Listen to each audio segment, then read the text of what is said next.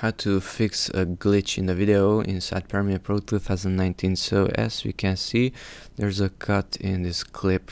One single frame has that defect. So if I go to the left these frames are fine.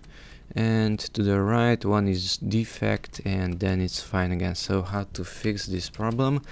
The frames are visible here 41 and if I go to the left with the left arrow 37 is damaged. Well it's much easier to cut out just one single frame. So press S on the keyboard. There where the damaged frame is. S.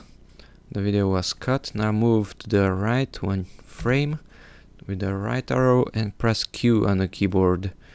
Letter Q to trim the start of the video. So inside here letter Q. I just cut out one frame and let's preview it if I go there,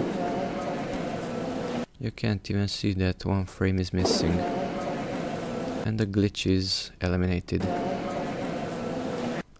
Even if I go here and go frame by frame, it's a very very minor jump.